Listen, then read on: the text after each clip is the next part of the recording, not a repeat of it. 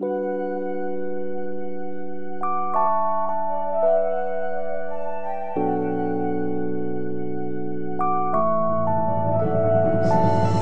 like the Huda Beauty palette to me. Um, and and I googled it. I'm probably gonna put a picture of it somewhere here. It is literally the exact same way. Like it's arranged in the same direction. Um, I've swatched some of these, and I um, some of these are gonna be uh, easier to work with than others. Um, especially these two glitter tones. I feel like more like chunky, glittery, and they don't really swatch well. I don't actually have the palette because I'm a student and I'm not gonna spend 56 pounds on um, an eyeshadow palette. You know, makeup, I just don't. I would rather spend. I mean, I don't even spend 56 pounds on a single skincare product, and I care more about skincare than I do about makeup. So, about makeup, so I am in no position to be telling someone how to do their makeup. But I am someone who does use makeup, who enjoys using it. But I'm just gonna put this all. I I think it'll be sticky enough for the eyeshadows to stick on. So I'm just gonna put this all over my lid. Um, so I've never done a makeup video on this channel, just because I mean this video is I mean, this channel is not meant for like makeup videos anyways. I'm going to use the color, to use um, this color here, which I think is the equivalent color to um, the color Shy in the Huda Beauty palette. Um, but here it's called Rebound in this Makeup Revolution palette in my crease as a transition shade. So so I actually started wearing makeup or having interest in anything involving beauty and skincare um, when I finished um, secondary school. So I was about 18. Um, I was 17 when my mom bought me my first um, makeup, like small, tiny travel makeup thing. I definitely spend more money on my skincare than I do on my makeup, especially now, I think. Um, okay, sorry, before, I'm just going to use this pink one to um, for my crease basically. This is why this channel isn't a beauty channel because I clearly cannot talk while doing makeup. Doing eye looks is I think the most difficult part of makeup and so I started watching um, YouTube videos, tutorials on like eye looks and initially it was just like I wasn't looking at anyone specific, it was just me um, searching on YouTube for like good eye makeup for brown colored eyes or something like that.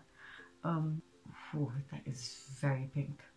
I wanted this look to be like a look that you can do and you would actually wear, but it's turning out to be one of those crazy looks that you uh, just watch YouTubers do and don't end up actually doing yourself. My face is really flat, so I really like to give some depth into my eyes. I'm gonna use um, Unruly on the sort of outer corner of my eye. I'm gonna use a soft blending brush because I don't want it to be like a really strong red on it. So, so I started watching these YouTube videos and they were all using this um, really expensive makeup um, that I, obviously I couldn't afford. In terms of cheap eyeshadows for students, uh, like Sleek and Makeup Revolution in the UK is a really really good alternative for like a nice makeup. If you want, just want a nice palette to start with, I definitely recommend um, getting Sleek makeup or any of the Makeup Revolution palettes. Like this palette is only eight pounds, and the smaller palettes that I showed you guys earlier, these ones which you get like 15 shades in, um, are only four pounds, and it, honestly, it, it's great. Like pigmentation is fine. You don't have those kind of problems.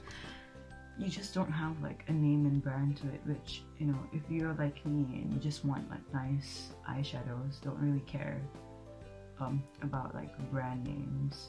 I'm gonna go in with Lust just to give a bit more depth in the corner. So I'm just gonna use a pencil brush and which I think is great I'm just gonna go back in with the blending brush because it's not really blending out very well with the red. I'm just gonna blend that out. Just get like cheap things or like affordable things that work for you. It's the same principle I use in skincare. I think there's always going to be brands out there that do um, products that are just as good and not gonna and it's not gonna like break your bank. Next what I'm gonna do is I'm gonna get a small pencil brush. I'm gonna pick up because I want to do like a cut crease thing and probably fail this video altogether. Um, I'm just gonna go in and carve out the areas that I want to put my glitter shades in. Also because I'm gonna need it because these don't really stick on very well. And I'm gonna go in with um, this chunky pink color which is supposed to be Fling. Um, in the swatch I think the color is a bit different. I'm gonna go in with that pink in the outer corner um, and then I'm gonna go in with this gold color is called Fearless but called 24K in the Huda palette um, in the center. And I really actually like Dominant more than this color. So I'm going to use that in my inner corner. Yes. I'm going to into the gold now. I'm going to try picking it up with a normal flat brush. This is a Body Shop brush. I don't know what it's called. I got this like when I was 18. Literally five years ago. So Yeah, so another so first okay, the first purchase I guess I bought on my own as a student was um, brush sets, which was also a nightmare to try and get because oh look at that. That's nice. I think I should have pulled it higher. Right? I should have put the crease higher. See guys, it's all try and error. I'm not a beauty guru, so this is just gonna be a trial and error way. I'm just gonna cut this a bit higher now. The first thing I ever bought was a brush set and I didn't want to buy anything that was more than 50 pounds. Um, I think it was, I didn't know like much. Genuinely didn't know like what to get or like, and you know what brands were okay and what weren't. So I ended up just getting a brush set from Body Shop um, that I saw on YouTube had some good reviews on and I actually went to the shop to feel out the brushes myself and this looks ugly. This is not nice. Someone help. But I don't really do crazy colors like this usually. This video is just for fun because this is obviously failing anyways. Um, so I was saying so invest in a good brush set I would say. Um, get like when I say good like not like 300 pounds worth of brushes from Zoeva or anything ridiculous like that. Like Morphe is I think a good brand brush. Um, at least half of the internet thinks so. So this is so ugly. Like you don't even I, I can't even begin to tell you how ugly this looks right now.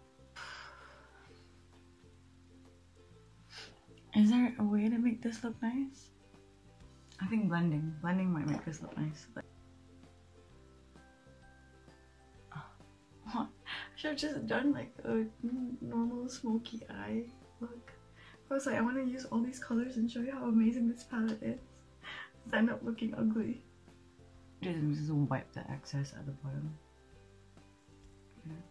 Pull it this way.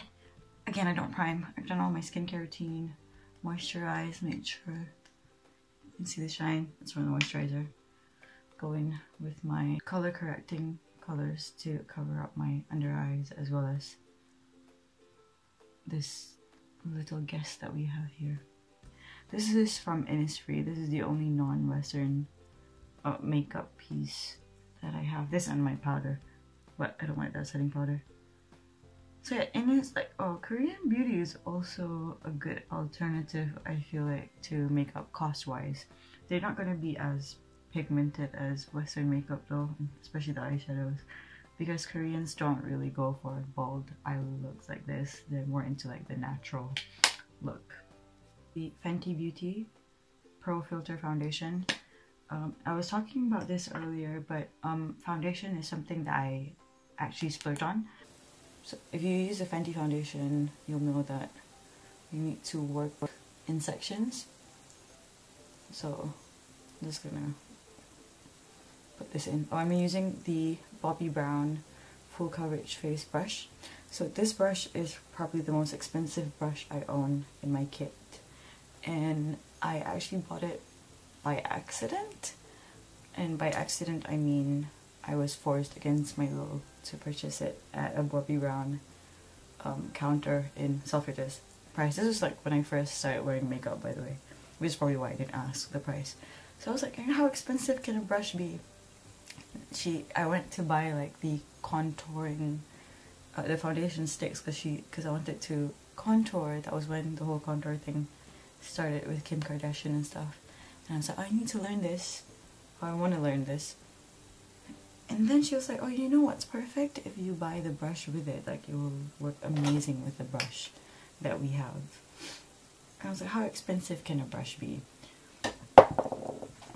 The brush was 34 pounds. I don't even, my brush set was 40 pounds. This single brush was 35 pounds. I was like, girl, what? Mm, and I, I, like at that point I was at the cashier point and I couldn't do anything. I, I don't know. I could have just like taken it off my basket. I was 18. I was young. I didn't want to feel embarrassed. So I just bought a 34 pound brush. But now, um, I literally don't you don't do my foundation with any other brush or sponge or you know I've tried the beauty sponge and everything, and I still love this brush. I think it gives an amazing coverage, even when I'm using like um, drugstore foundation. Like I use the Pro Filter in shade oh 200. I thought it was 210. Wow. And I just think since I'm going all out on the eyes, I might as well contour as well. So so I'm gonna use um, my Bobbi Brown contour sticks that I bought two years ago, which are probably expired and couldn't break me out, but I haven't broken out from them. Um, almond and the other is in porcelain. I think these two colors are too dark and too light for my skin, so I don't use a lot of them when I contour. Now, when it comes to contouring, I don't like to do anything crazy. I just kind of like, what do you?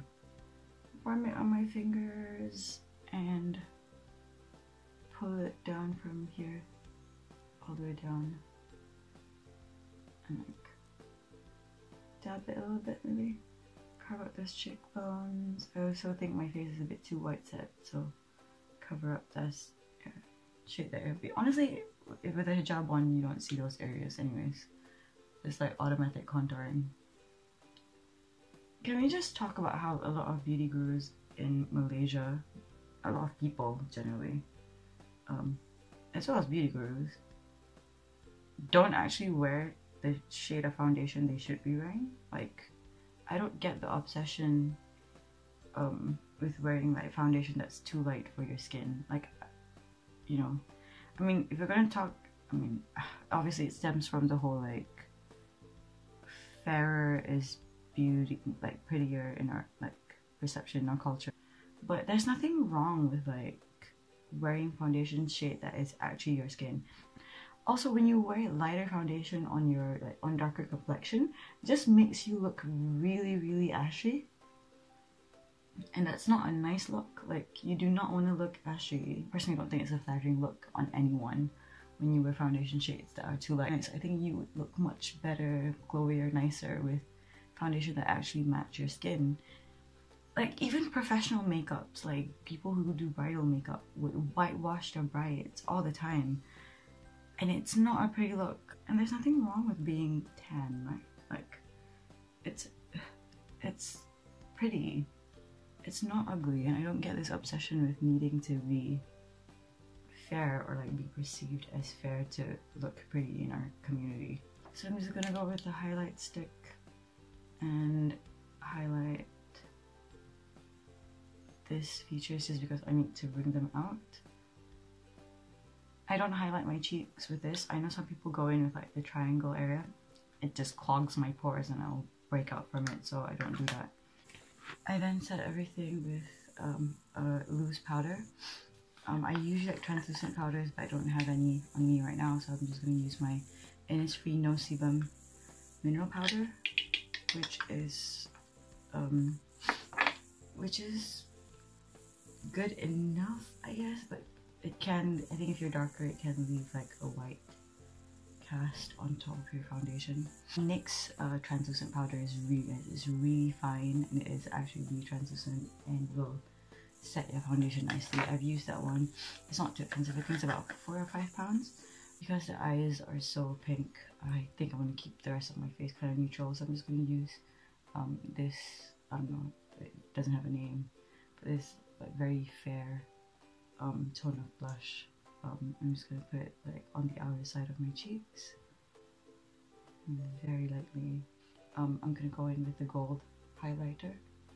Um, and I'm going to highlight my cheekbones.